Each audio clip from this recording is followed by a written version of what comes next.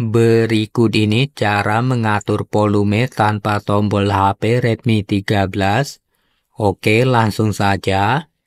Pertama, buka pengaturan atau setelan. Gulir ke bawah. Pilih setelan tambahan. Pilih aksesibilitas.